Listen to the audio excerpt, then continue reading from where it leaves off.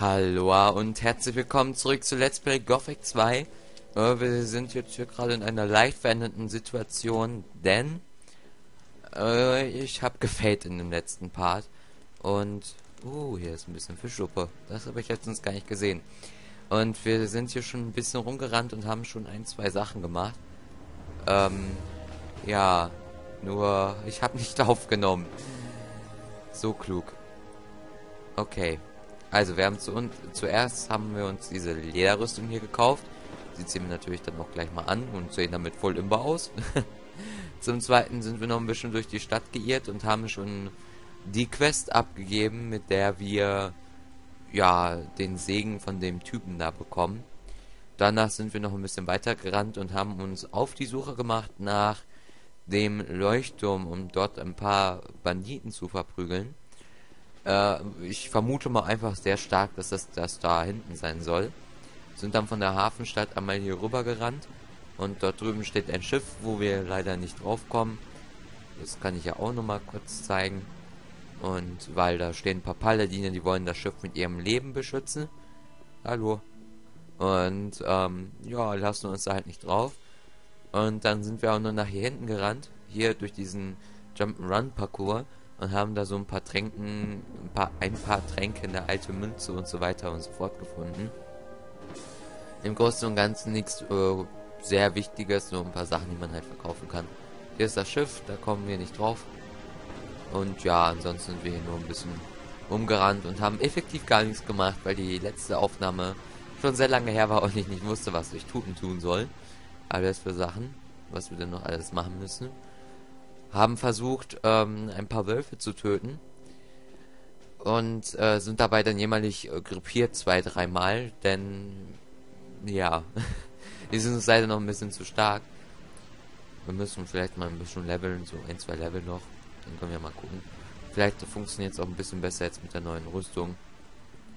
Müssen wir mal nochmal uns alles dann angucken ja, ich habe auch versucht, diese komischen Banditen zu finden in der äh, in dem Wald außerhalb der Stadt hier, aber da ist dann nichts dabei rumgekommen. Und ja, bevor ich mich jetzt auf den Weg zum Leuchten mache, zeige ich euch noch eine Sache, die wir gemacht haben.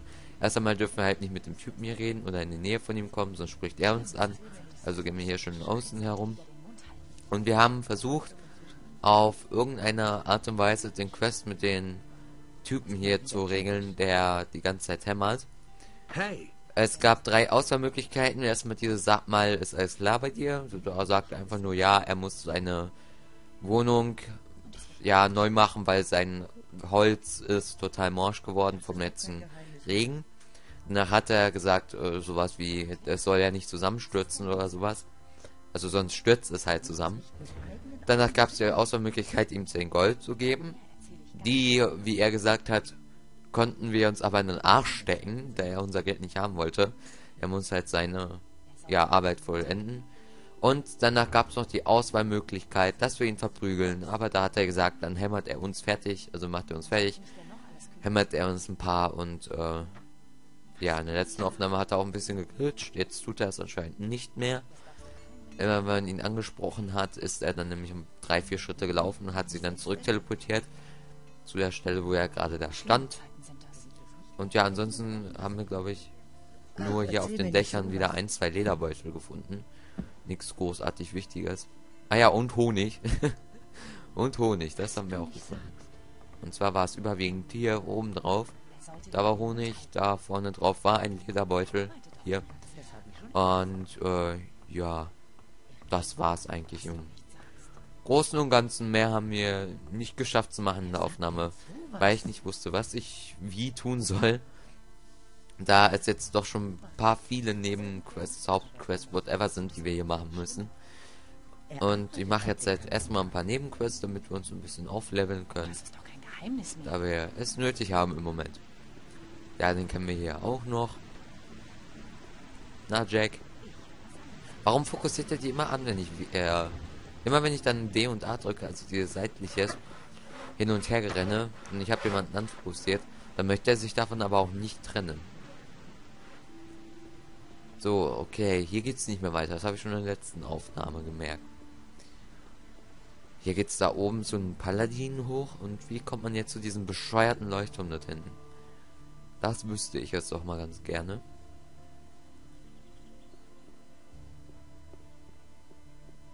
Okay, da geht's irgendwo hoch. Na, hoch damit hier. Da hinten steht der Leuchtturm schon. Uh, wir kommen aufs Dach. Mal gucken, ob hier irgendwas ist.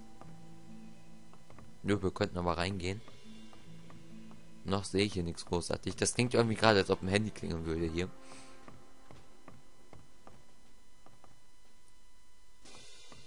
Und ich habe irgendwie so das Gefühl, dass das der Wald ist, in dem sich die Banditen verstecken. Weil wir haben in der letzten, also ich habe einen Wald in der letzten Aufnahme untersucht. Da waren halt auch die Wölfe und noch so ein paar andere Viecher, die uns dann elendig umgebracht haben. Wir hatten gar keine Chance, irgendwas gegen die zu machen. Und äh, ja, da konnte ich natürlich auch dann sehr gut nach den nach den Banditen suchen. Ja, ich denke mal, wir müssen jetzt einfach nur das Einzige, was wir wirklich tun müssen, ist jetzt erstmal runterkommen, ohne Schaden zu nehmen. Yep, gut. So muss das. Muskatnuss, Muskatnuss, Herr Müller. Wer es nicht kennt, kann es einfach mal googeln, das ist echt. okay, gehen wir hier mal einfach raus und untersuchen ein bisschen das Wäldchen.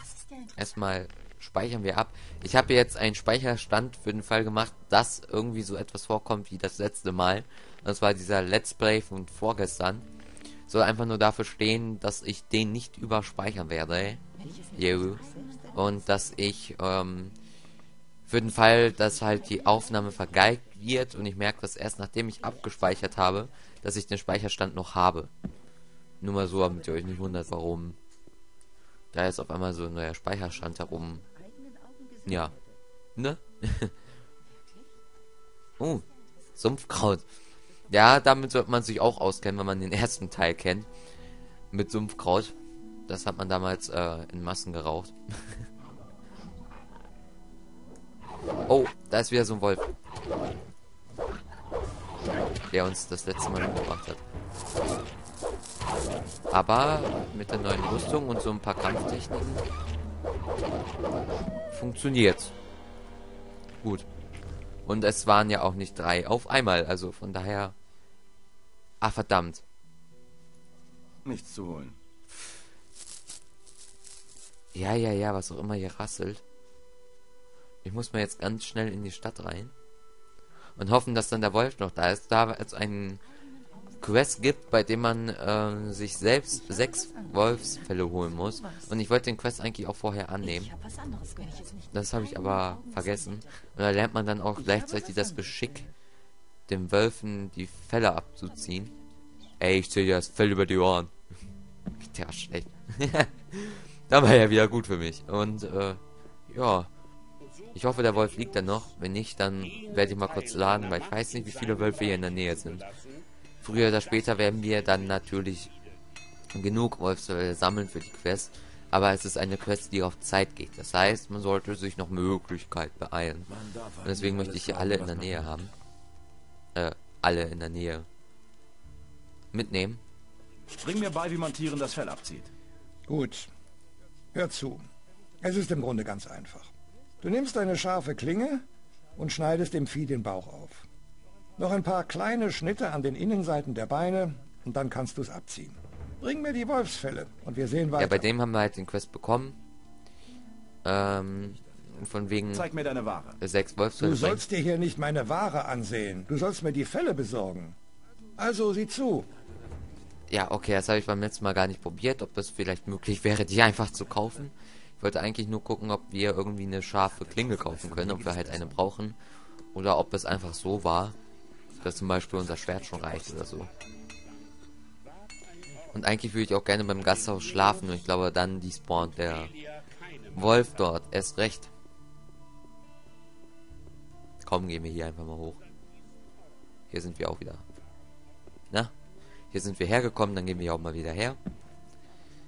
Und rennen da drüben hin zum Wolf. So schnell es geht. Das ist auch sehr schnell. Wow, hat eine Ausdauer. Kann man nicht irgendwie Das rennen? ist doch kein Geheimnis mehr. Nee, man kann allerhöchstens langsamer gehen. okay. Oh, Dunkelpilz. Liest du hier noch, Wolf? Wolf? Bitte. Bitte, bitte, bitte. Nein. Aber ich höre ihn weiter. Moment, ich möchte vorher speichern. Und was ist das? Dieses Geräusch. So, speichere ich mal eben hier ab. Für den Fall, dass da auf einmal mehrere kommen. Bei mehreren sind wir unterlegen. Derweilen.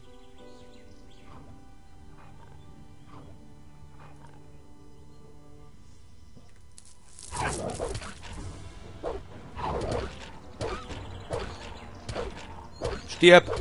Los! Ja, gut. Oh, danke. Gut. Was ist das für ein... Aber ihr hört das auch, ne? Das ist wahrscheinlich irgendein Käfer oder so hier in der Nähe.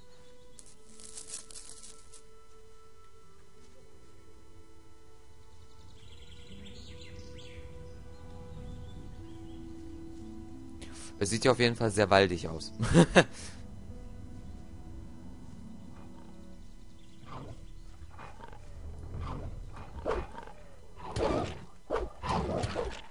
Komm an die Wand mit dir.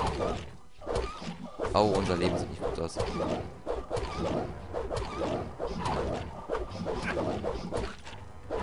Ja, ja. Okay. Gut. Schön. Ähm, am liebsten würde ich jetzt einmal kurz zurücklaufen und den Franzosen rauslaufen, raushängen lassen, aber äh, das ist äh, was anderes. Oh. Weil wir haben nicht viele Heilpflanzen. Zur Taverne nach Corines. Ja, komm, gehen wir noch mal kurz schlafen, denke ich mal. Strecken wir das Let's Play unnötig in die Länge.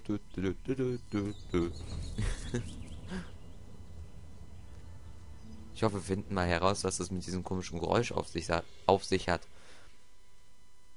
Aber das klingt echt unschön. Apropos, wir haben ja noch gar nicht mit der Wache hier geredet. Sollten wir vielleicht mal tun. Hey, hey, nicht so schnell. Alleine hier draußen herum zu spazieren ist gefährlich.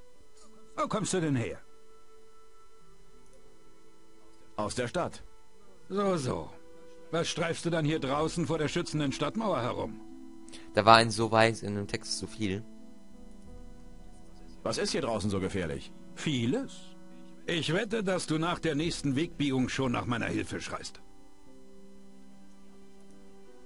Mal angenommen, ich würde deine Hilfe in Anspruch nehmen. Was würde mich das kosten? Ich bin nur ein bescheidener Diener des Königs und würde nur sehr ungern einen kleinen, hilflosen Bürger des Reiches schröpfen. Aber weißt du, wenn du mich so fragst, hätte ich nichts gegen eine kleine Starthilfe für unsere zukünftigen Geschäftsbeziehungen einzuwenden. Fröbel. Zehn Goldmünzen sollten für den Anfang reichen. Was meinst du? Ich denke darüber nach. Wie du willst. Ich wünsche dir einen schönen Tod. Dankeschön. Wir sind auch so tot. nee, anscheinend kommen wir mit der Rüstung ähm, ganz gut durch, auch wenn wir vielleicht ein paar Heilsachen verschwenden werden. Nein, spenden möchte ich nicht. Ich habe gehofft, wir können uns da jetzt heilen, aber Ich glaube da nicht dran. gut, gehen wir lieber schlafen, ist ja eh umsonst. Halb so wild.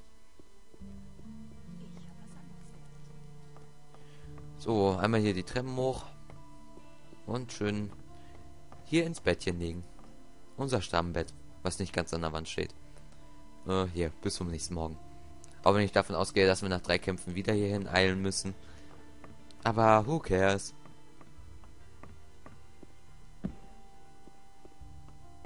Dann können wir währenddessen auch in dem Wald nach den Banditen suchen. Und man meinte ja, dass die da irgendwo in der Nähe von so komischen Treppen oder sowas da sein sollen. Und da wir da ja gerade eben an der Ecke nach unten so ein paar Treppen gesehen haben, würde ich mal sagen, das erste, was wir tun, wir gehen da runter und ja, gucken uns da mal ein bisschen um, was da denn so für Sachen sind. Immer dieser Autofokus, ey. Ah. Unschön.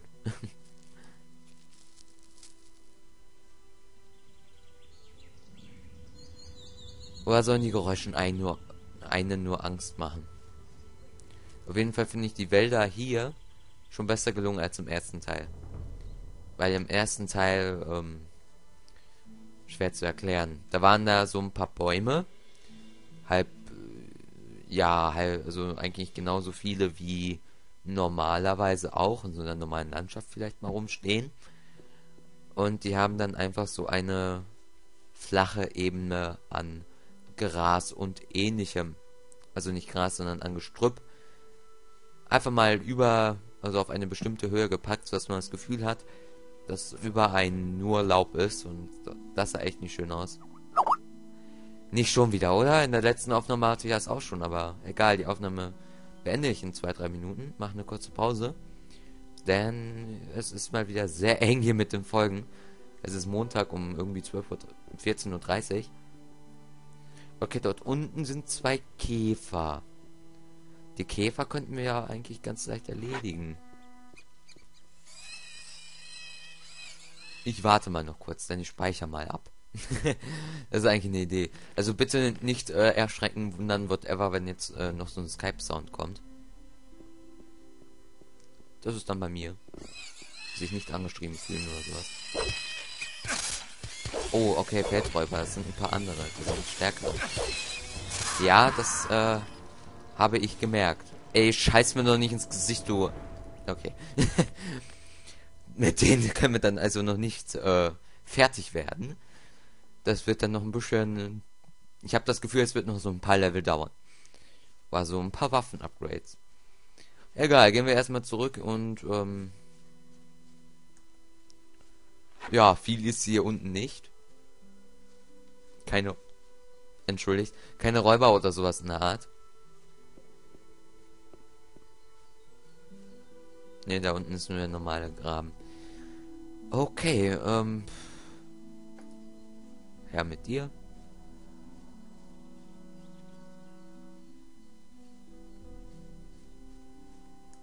Dort sind ein paar Ratten.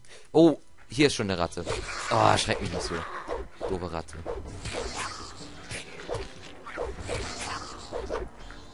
So.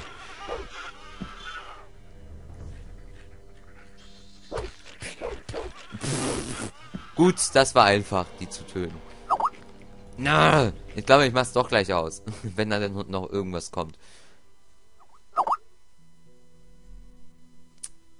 Oder ich sage mal, wie ich jetzt. So ein Feldtag heute, so ein Feldtag. Jetzt mal fällt die Aufnahme und jetzt. Ah, egal. So, ich mache mir hier mal bequem auf diesen Baumstamm und verabschiede mich mal für diesen Part äh, und sage mal bis Mittwoch.